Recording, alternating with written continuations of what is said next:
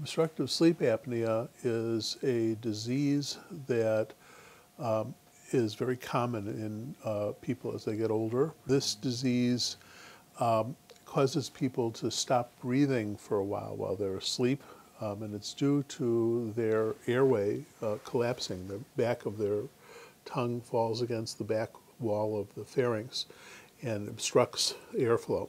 And this occurs because the muscles relax when you're asleep. And the result is that the person is unable to breathe and their oxygen level drops and their level of carbon dioxide in their blood goes up. And um, the person eventually wakes up and restarts breathing again. But this cycle can go on repetitively over the night, uh, literally hundreds of times per night, waking the person up so the person never gets uh, very deeply asleep. Our group has a large uh, project going on that's funded by the National Institutes of Health to try to identify the circuitry in the brain that's responsible for waking the brain up during sleep apnea as distinct from the circuitry that activates breathing and opens the airway. And our goal is to find ways to augment the respiratory circuitry and improve ventilation without waking the brain up or, to, or suppress, even suppress waking the brain up during sleep. We use a model in which the mouse sits in a round container and we have access to uh, put in carbon dioxide or oxygen intermittently every five minutes. We switch the atmosphere in the cage for 30 seconds to an atmosphere that's high in carbon dioxide or low in oxygen or both. Then we looked at the brain to see where in the brain the circuits were turned on due to the high carbon dioxide.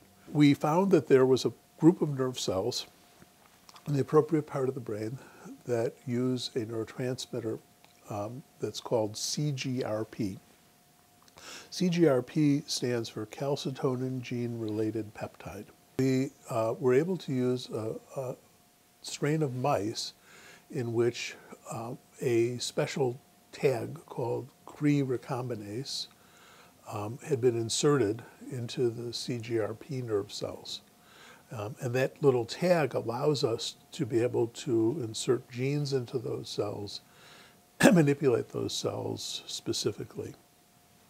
So the first study we did was to insert into the CGRP cells what's called an optogenetic channel. And this allows us to be able to use a light beam to activate the CGRP cells. And when you do that, the animal wakes up. So that's good. It shows that these cells can, in fact, wake the animal up. And then we used a second kind of tag called a chemogenetic channel, which allows you to give the animal a injection of a drug that otherwise is, does nothing.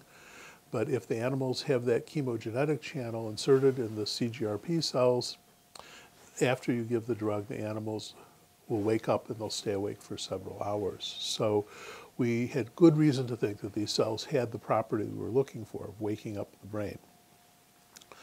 The next step was to insert a different kind of optogenetic channel into those nerve cells that inhibited them. And when we inserted this channel, we found that when you shined the appropriate color of laser light onto the CGRP cells, that you could actually prevent the animals from waking up when you gave them a high CO2 atmosphere. That means that these cells are necessary for the CO2 arousal to occur. In the last experiment, we implanted optical fibers over the target areas and we were able to turn off the terminals of the CGRP cells where they make contact with their target cells only and not turn off the rest of the CGRP system. It seemed that we could almost obliterate the CO2 arousal response when we turned off that pathway.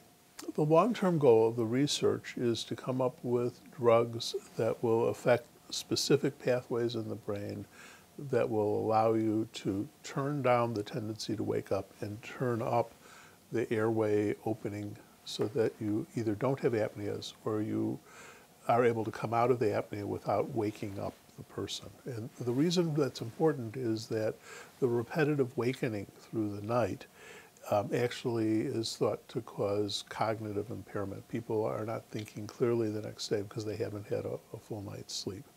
If our work is successful, we'll be able to design a drug that will be able to keep the person asleep um, while allowing the airway more time to open.